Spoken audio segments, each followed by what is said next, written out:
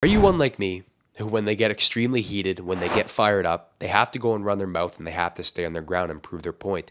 May I submit to you today that sometimes that's not always the thing that we should be doing, and I wanted to lay this out with the story.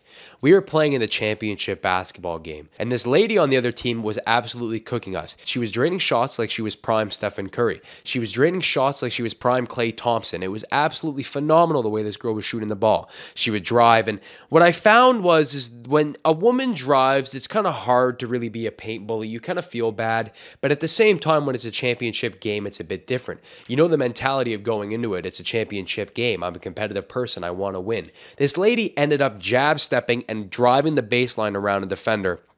And I was so happened to be at the top of the key watching her jab step around. And when she made that step around, she was driving the basket. So my initial thought was, I'm making a block on this play. I'm jumping no matter what she tries to do. And lo and behold, she tries to go for a floater, which she does.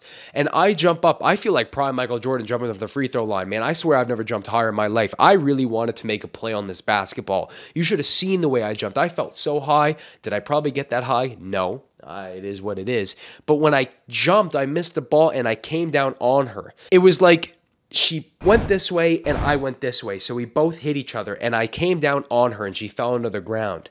Now, I've had issues with this team in the past um, with one guy on their team who's always told me to calm down. And we got into an argument because he was mad when I rolled the ball to check up with him. Petty stuff. It is what it is. But he came over to me and he told me we got to chill out. And I said, brother, it's not that serious. We had this conversation last time. And I got mad because they were freaking out. And I said, listen, is it really that bad of me? Because is there anything in the rules that states that I can't make a play on the ball when someone's driving the baseline. There's nothing in the rule book that says I can't do this. It's a hard foul. It hurts. I get why she's shaken up, but there's nothing I can do about it. Are you really helping the situation by saying, let's calm down or we got to stop? It doesn't help the situation. And nobody can argue with logic. When I said that, nobody had anything to say because you can't argue with logic. You can't argue with facts. I was a bit disappointed in the way this guy acted, and I had to go and run my mouth on the sidelines. There was things that I said that shouldn't have been said, and I won't say what they are, but there was things that were said that I really shouldn't have said. Do I live with regrets? No. Should I have said it? No. Am I happy I said it? No.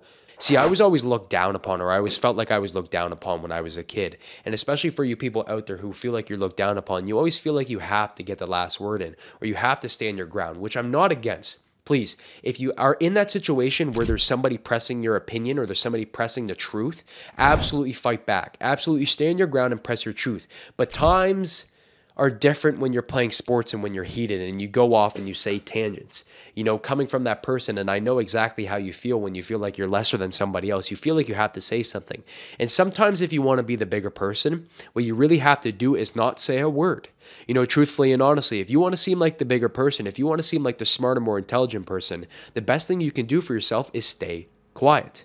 You know, we all know those videos online of Karens freaking out with people, and they always say that the more stupid person is the one that's screaming extremely loud. Is that you in a conversation? Let me challenge your thoughts today. What do you like in a conversation? Are you calm, cool, and collected, and nobody can argue with your reason and your logic and your facts, or are you freaking out and screaming at people? Because my message to you today is is check the way that you talk to people. How do you communicate with people? How do you communicate when you're angry? How do you communicate when you feel like you've lost it? Because one thing i've noticed for myself actually after i've calmed down is that i no longer react to those emotions. See emotions are so gripping and emotions are so fleeting because they're almost like this little hit of some drug. You know, we ride these emotions for a certain amount of time and we like to react on these emotions. You know, when something good happens in our life, we like to have more good happen in our life. And when something bad happens in our life, we like to act on that bad. You know, it's the saying goes, misery loves company. And it's very true, you know, especially for you athletes over there. When you're riding a wave and you're riding this high, you feel like you can't miss a shot. But what happens is, is we react on those emotions as we're humans, we're reactive beings. We like to react when things happen. Try your best to not react. How do you not react? Well, one thing I want to suggest to you is don't care about the situation. Don't care about how somebody says something. And this is all ironic coming from me because I just told you I lost it, but this is the first time I've had that situation happen to me in years. This is the first time that beast has come out. Mike Tyson said it perfectly. I'm scared of the man I once was. I don't want to let him out anymore. I'm scared of the man that I once was because I know what he's capable of and I know what he's going to do. So I do feel like I have all the room to talk on this. Not taking things personally. You know, every time someone would come to say something to me or they would chirp me or they would say something bad about me, I always felt like it was a personal attack. You know, if you can refrain your mindset and think that we're all going to the grave, we're all going to die and his words mean nothing and I'm letting someone else influence me, then how could you let somebody else influence you? You know, the one thing I find interesting is we go around as human beings letting other people dictate how we feel and act. You know, it's very interesting. If you ever want to see it true, plain fact, is go to work. And if you work with somebody who's not a good boss, you can see how much of an influence they have on certain people because they start to work less, they start to get angry, the work environment's not as good. But you can see how we are dictated as humans into reacting how other people push us. You know what I'm saying? People want to give us that that that feedback and we want to give them feedback. One thing I suggest you do is don't give them that feedback because it's going to make you the stronger, more valuable person. It's going to make you feel like the stronger person, especially. You know, I always wanted to be a stronger person when I was young. And if I had known that being the stronger person was to not say a word, to just keep letting it play or just keep letting the play go on or keep letting work go on, I would have done it a long time ago. But I was too silly and too dumb to realize that sometimes being the smart man means that you say nothing. You know, they say the smart man's the quietest one in the room and the dumb man's the loudest one in the room, although it seems the different. One thing that helped me extremely in dealing with people and dealing with how people spoke to me is being called to a higher purpose. You know, what comes with being called into a higher purpose is not caring what other people think anymore. Because when you're so determined to get to that higher purpose, when you're so determined to get to that place that you know you can be, no words can hurt you anymore. Because you're this man on a mission. You're like a train that's unstoppable. You're like a you're like a car that can't be stopped, like a tank almost. You know, words used to penetrate my soul deeply. They used to really affect me and I used to get really bothered by what people say. I used to let people influence me. I used to let people say what they had to say and I would get discouraged by what people had to say. But now being called to a higher purpose, now being called to something that I should be going after, words don't hurt me anymore.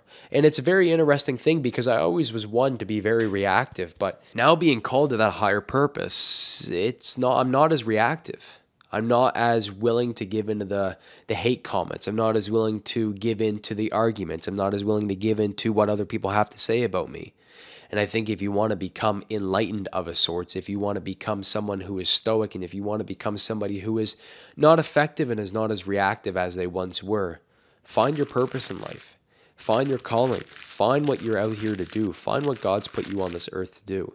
Because if you can find what God's put you on this earth to do, how could you ever be stopped by what some mortal man says? Go down below and hit that subscribe button. It costs you nothing. It's completely free. If you enjoy what I'm doing, I would greatly appreciate it if you just took the time to go down, down below and hit the subscribe button. If you want to join a community today where we're all trying and executing on getting better, I suggest you do it. It costs you nothing. It's free. Don't be a stranger. Don't be shy. Come down below and hit the subscribe button.